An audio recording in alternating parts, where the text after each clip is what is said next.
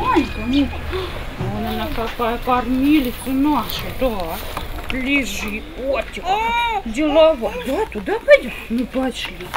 Ну, она какая деловая. Да. У кота Матроскина корова была рыжая и по квитанции. У Долгановых коричневая с белыми пятнами и по соцконтракту. Февралька в семье не только всеобщая любимица, но и кормилица. До недавнего времени доход супругов не превышал прожиточный минимум. Не опускать руки в трудной ситуации, а доить ими корову. Такое решение приняли на семейном совете.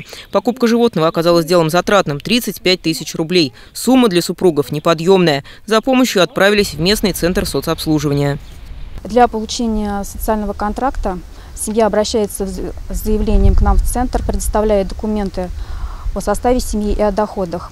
Далее специалист центра проводит собеседование с заявителем, составляется программа социальной адаптации, в которой прописываются этапы мероприятий, на что они потратят денежные средства.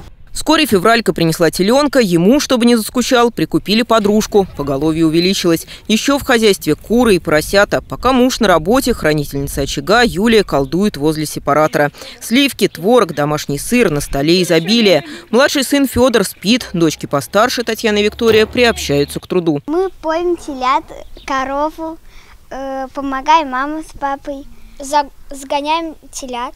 Больше 20 литров молока в день Долгановы не только себя обеспечивают, но и соседям продают, когда те просят. Своим нынешним положением семья вполне довольна. Теперь соцконтракт другим советуют.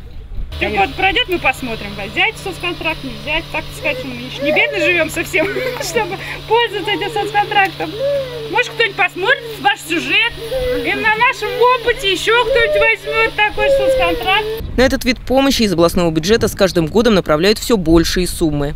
На сегодняшний день заключено 5430 контрактов, что позволило увеличить среднедушевой доход малоимущих семей в среднем на 26%. Всего в этом году на оказание помощи по социальному контракту в бюджете региона предусмотрено почти 57 миллионов рублей. Татьяна Потоцкая, Анастасия Гончарова, Алексей Гриднев, Новости губернии, Большечерниговский район.